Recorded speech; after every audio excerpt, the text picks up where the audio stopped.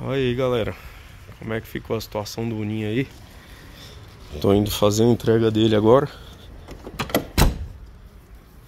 Olha aí como é que ficou? Rodinha Aro 13 Original.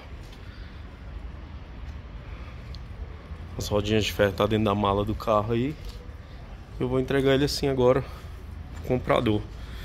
Verdade O comprador me pediu me pagou o carro e pediu para colocar umas rodas de liga me pediu a ideia, o que, que poderia colocar para ficar legal o carrinho, que ele tava com roda de ferro preta, né?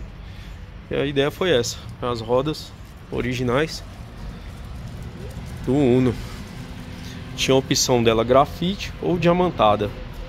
Mas eu creio que ele tem muito detalhe preto. Se eu colocasse uma roda grafite ou mais escura, ia apagar no carro.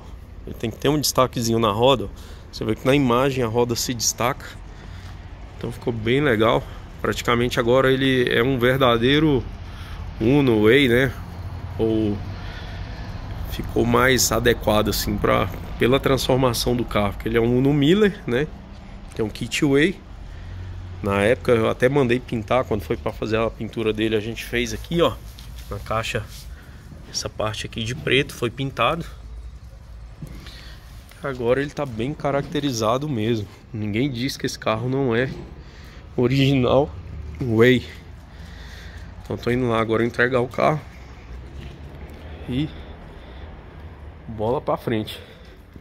Vamos ver quais serão os próximos projetos aí. O golzão tá aqui guardado. Mas ficou bom, gostei.